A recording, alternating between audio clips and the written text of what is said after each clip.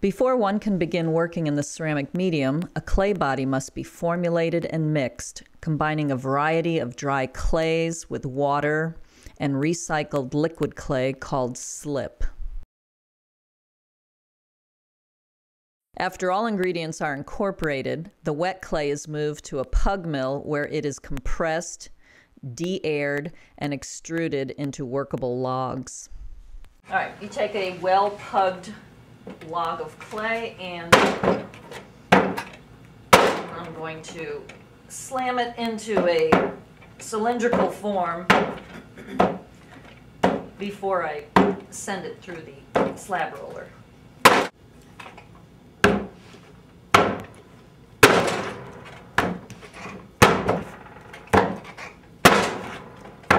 One of the most common ways to hand build a ceramic sculpture is to employ the slab method. An extruded log of clay can be thrown and stretched upon the work table to slowly flatten it into a sheet of even thickness. The addition of a slab roller can maximize this effect. And we have our slab.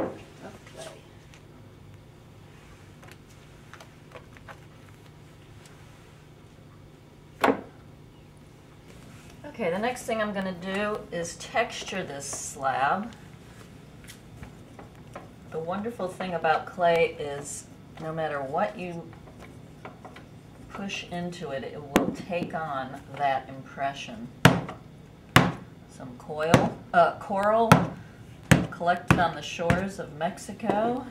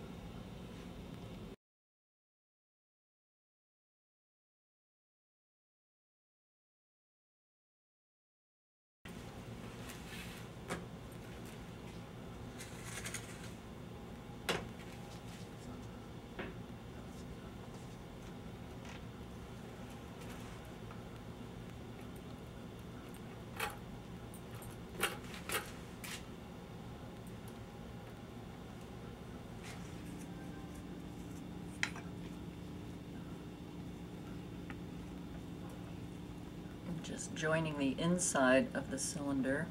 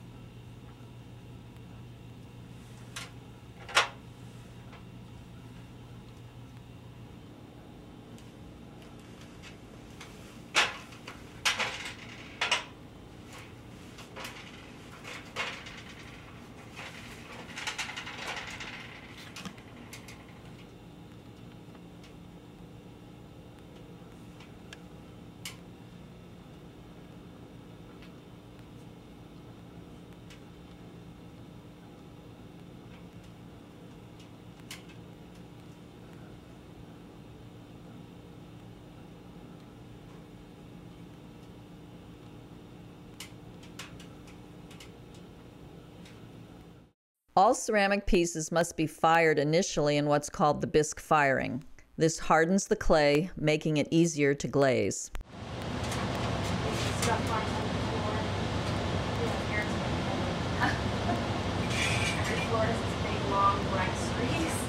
For this particular sculpture, all pieces are lettered and numbered for proper arrangement on a steel rod.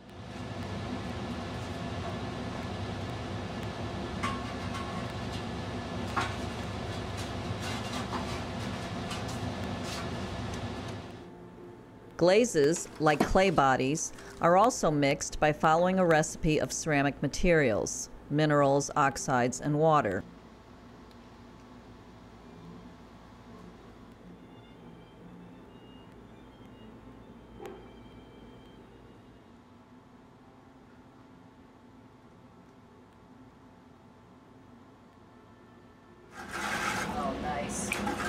Put bentonite in it, and it's not settling out anymore.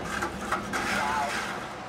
There are several ways to apply glaze, one of which is spraying. An appropriate amount and even coat of glaze must cover the bisque fired clay surface prior to the second glaze firing.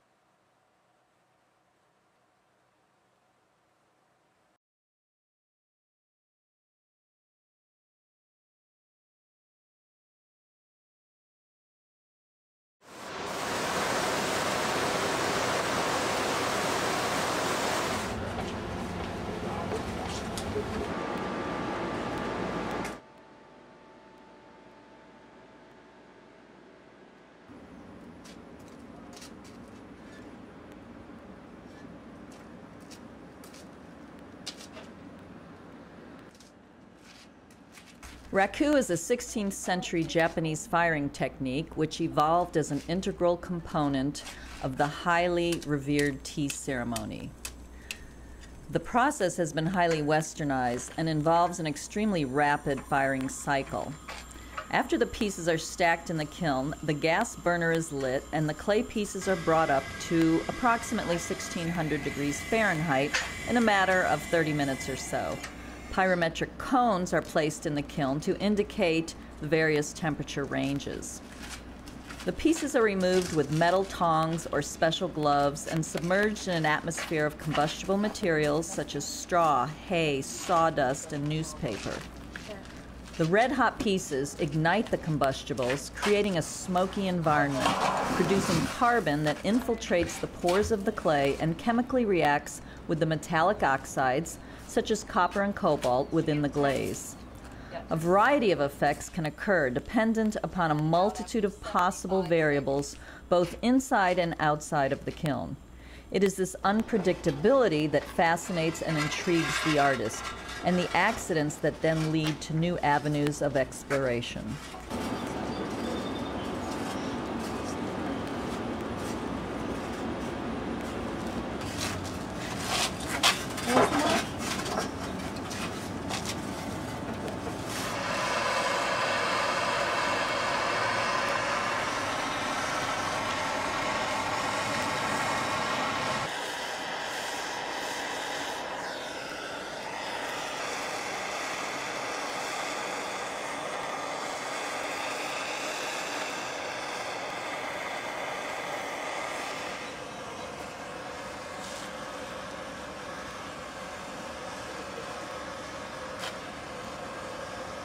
This body of work resulted in an installation that included 26 6 foot to 8 foot totemic ceramic sculptures, all fired in the Raku process.